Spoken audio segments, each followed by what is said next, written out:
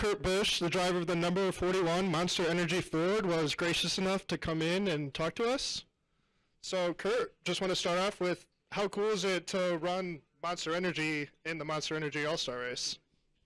Yeah, it's uh, it's quite the event. Uh, over the years, the All Star Race has always built that fun, excitement, and that different feel when you come to Charlotte Motor Speedway. So whether it's uh, you know pre-race, you know, or it's the the open, or then the the final uh, Monster Energy All Star Race, there's so much to see, absorb, and and feel that's different than normal race weekends. And so this year at Charlotte, what makes it fun is you have you know the All Star Race with its rules package. You have the 600 with a standard NASCAR style car and package, and then when we come back here for the playoffs in September, uh, it's the Roval. And so three unique tickets all the way around at Charlotte. Uh, you can't get that at any other track, and so it's really a fun time for Charlotte. I just wanted to congratulate you know, Marcus Smith and everybody at SMI on what they're doing to move the needle. And you know, with Monster's involvement in the All Star race, I always feel compelled to you know, promote it as best I can. And we've had commercials, we've had appearances, autograph sessions, and we're doing all we can to, you know, find new fans, but also take care of our old fans that enjoy this, uh, you know, one hot night on Saturday night. And you won this race in 2010. You've been top five the last three years. What's just been the key to your success? I think it's uh, staying loose, having fun with it, and putting yourself in position to win it and you know to win it overall in, in 2010 uh, that's when we had a, a 10 lap run at the end but it it followed a break like literally we could park on pit road we had a, a 10 minute break and we actually made a shock adjustment in that race and that's that's when I you know I felt like the driver was a bit more in, in control of of it the setup changes versus the engineering side and so it was great to win that and then to back it up in the 600 uh, that was a, a, fun double, a sweep to to be able to do that in the month of May was pretty special. So just going after it, having loose, having fun. And it was great to get out on track today. That's really why I wanted to stop by and, and say hi after one lap on practice. You know, there's not much to talk about, but this was the most excited I've been to get out on track with a new rules package in a long time, just because of the preparation going into this car uh, the amount of questions in team meetings, the amount of contact through my phone and emails, texts, calls about what do you think about this package? What do you think about that package? Everything from shocks to transmission ratios to aerodynamic balances. Uh, this weekend feels like a, a blend of super speedway action, short track action, as well as a normal mile and a half uh, type of speed. So it's going to be really unique. And uh, I'm glad we got the one lap on track to go wide open all the way around. We were wide open, uh, but I do anticipate some of the drafting challenges, restart challenges, and track position challenges that we see at, at, at a lot of our tracks. And all of it's com- you know packed into one little race right here with the Monster Energy All Star race. All right, we'll go to Jenna, Reed, then Lee. AP. Um, I have two questions. The first one is, did you what did you learn in that one lap? Uh, the, the car's travel didn't travel as far as we thought, so we can go lower. Um, but our simulation model said that we would run, um, uh, what was the lap time? A 3220, and I think we were spot on from our simulation models. Uh, and so now we know we can go a little bit quicker by lowering the car. And so that's the biggest thing. Also, um, felt like I was in third gear for six miles down the back straightaway, the, the horsepower is choked down so much that it it's a unique feel at a mile and a half to be choked down this much on power. With the idea being to create more passing, do, do you have any idea if that has been accomplished? I saw the Hendrick guys lined up to go out and do drafting practice, and we're at a mile and a half. And so I, I wish we were out on track gathering data right now. But right now, if I could just create one big topic, it, it seems like there's 10 different ways to approach one simple practice session at an all-star race. And then I have a bigger picture question. You started your career with Ford and you're with Ford now and Ford is doing quite well now. What are some big differences that you've seen that have gotten Ford to this position where they now maybe are the top of the manufacturers? Uh, the, the level of commitment still feels the same. Uh, Edsel Ford is very active. Uh, Henry Ford is very active. Uh, but then the immediate group underneath them um, now with Ford Performance, uh, the Ford Performance Group, I see it everywhere with uh, with all their different forms of motorsport collaborating together. Whereas Ford Racing before, maybe it's just because I was younger and didn't see it all. I just felt like I was more focused on the NASCAR program, and they didn't use information from IndyCar, uh, from Cosworth and Formula One, or from the sports cars. What I see now is information channels that are able to communicate quickly and ga- gather data from all different branches of the motorsport that Ford's involved in. Reed?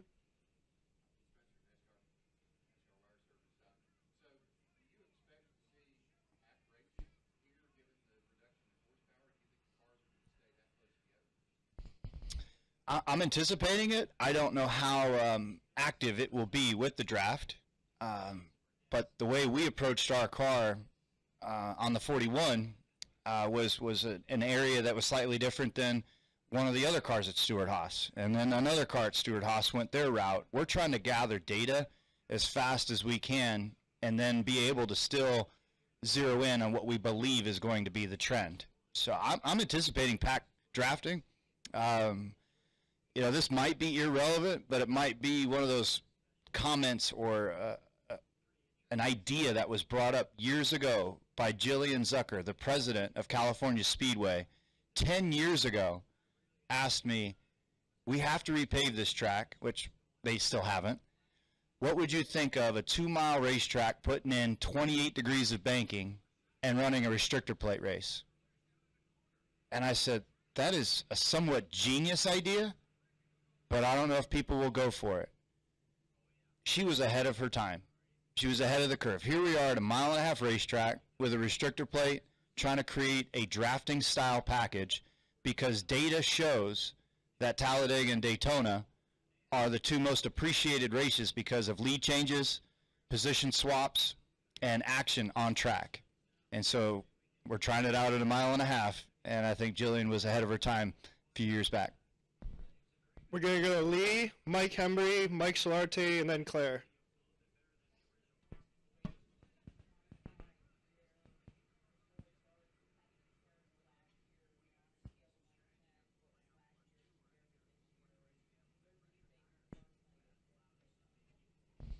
As far as the Fords and where we were last year at Stewart Haas Racing, we were in somewhat of a uh, not a rebuilding mode. We were in a discovery mode on the, the balance changes with Ford, uh, the, the external side and the internal side. And now we have all those questions answered, and we are pushing those Penske guys that may have been talking about how they were at a disadvantage, and we've made them stronger. They've made us stronger uh, in an indirect way, just with track performance. And so I feel like the aerodynamic balance is way better, the, the engine balance is better, and we've just perfected all the different categories and threw them into our, our perfect recipe. Mike, you had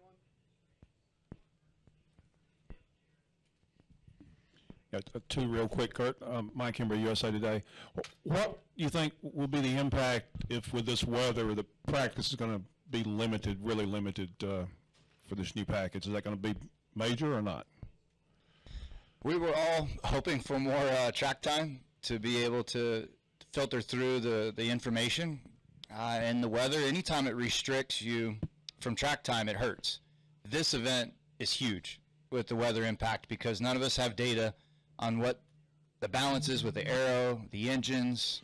You know, at Stewart Haas, we have cars in four directions trying to find information. You know, Hendrick was lined up to go drafting practice. Uh, the privateers were out there. I mean, I think Bubba was second quick on the board. Uh, I'm not sorry, that wasn't the right word, privateer, but you know, a car that's all on his own, no no teammate. They they are up there on top of the chart. So so many different things are going to be a, a player this weekend. And now with weather, I mean, literally, I got a text on my phone that said they were condensing the practices, and we're going hot at 11:30 and I'm at my house in Mooresville at nine. I'm like, I guess I should get to the track. So a lot of things are going to be juggled this weekend, and it's fun to have though the the all star atmosphere for Monster Energy to be promoting the race and all the things they're bringing in. I just wish we didn't have the weather issue that we have to overcome. And what's your perspective with this court ruling this week uh, on the possibility somewhere down the road that, that fans may be able to bet on races, maybe at tracks or, or maybe in every state somewhere, that good or bad for the sport? Uh, you're asking a Vegas guy that thought sports betting was legal all the time. Uh, I'm not much of a bettor. I grew up in that town knowing uh, they didn't build those casinos and hotels with their own money. It was built with uh, people's gambling and trying to find that edge of whatever game they were playing. And with current sports continuing to grow in all categories football, basketball, baseball, NASCAR. I mean, there's DraftKings, there's FanDuel, there's so many ways to interact with, with sports betting. Uh, there, there's even commercials with Buffalo Wild Wings, you know, having fans going back and forth and the banter of what the energy brings uh, when two teams are going at it and yet two fandoms are going at it, and as well as if you put a, a dollar down on it, you want to beat your buddy. So I don't know what impact it'll make. I don't know if we'll even feel anything different. Mike. Kurt, Mike Solarte, Spectrum News. You talked about the changes, and there's maybe 10 different ways to approach this the setup of the car, but you also talked about the choking out of the speed and feeling like you're in third gear. Do you guys prefer, which, which do you prefer? Do you prefer the speed aspect of the race, or do you prefer the, the, the tactical side of it and being able to pass guys in this package, giving that opportunity to the drivers this week? Well, it, it's tough to answer your question and then appreciate what NASCAR's trying to do with this event. Um, I enjoy horsepower. I enjoy speed. Uh, these are supposed to be the toughest cars in the world to drive, being that they're heavy, over horsepowered, under tired. You know, the aerodynamics are always lacking compared to Formula One or IndyCar, sports car. But we're trying to put on a good show. We're trying to create side by side action. And one thing that I think we need to try to address, no matter if it's a downforce race or an open race, is that the cars are just too sensitive when they're side by side. We have to get the cars less dependent on side force, and I think that will help allow us to run side by side more aggressively. Claire B. Lang, Sirius XM NASCAR Radio. You follow other sports and their all-star events, right? So we come here and what do you see the all-star race as? Because it should be an exhibition maybe of the talent of the drivers, should be more fun, maybe different than other sports. They joke around a little bit, maybe do a shot they wouldn't, you know, elsewise do. Maybe officiating is lighter. I don't know. What do you see the all-star race as as a competitor? Uh, it's good, lighthearted competition but the seriousness that's involved is for the cash. It's for a million bucks, the bragging rights to say that you got the the big check and the cool trophy at the end of it, and to know that you went up against the best of the best on who got the invite to be there. You know, there's always talk about um, in other sports that they got snubbed because they didn't get into the All Star game. And for us, you know, there's that elite 20 guys, 20, guys and girls that get into the show. And it's, I, I was sitting on the outside looking in my rookie year, and I was devastated that I wasn't in the show. I wasn't in the All Star race to go have fun and to be one of those elite guys. Can it be fun? I mean, you can't go out and joke around with the cars or you know try different moves because there is a million dollars on the line. Seems like every other race almost, just with different rules. I mean, there is the, the, extra things we do on track to, you know, pinch somebody down or push somebody in the corner, and you cross that line of, of driving a lot in the All-Star race, and you hope that that talented guy, girl, catches it, and you continue on racing. But there are quite quite a few times where there's those big wrecks, and it's because you had your guard down, or you were just trying to challenge that other driver to drive a little harder, and you do those types of moves in an All-Star atmosphere. Jacob Seelman, Speed Sport. Kurt, you talk about the differences in what you're feeling. Is there anything at all from traditional Charlotte oval racing that applies from what you felt? Uh, the shape of the track and the banking is, is there. It's that everything is, is condensed um, with with the way the car is driving. So I just hope to get more drafting experience with um, with the practice time and to see you know, what's going to happen. What I'm what I'm going to say is the same as the track size, but everything is going to happen in a unique way because we're going to be drafting it in a restrictor plate type of format. And the only times we've ever been in a restrictor plate format, we're on much bigger racetracks. So everything is condensed into a tighter spot. Any more questions? All right, again, thanks for Kurt for taking the time to come in to talk to us.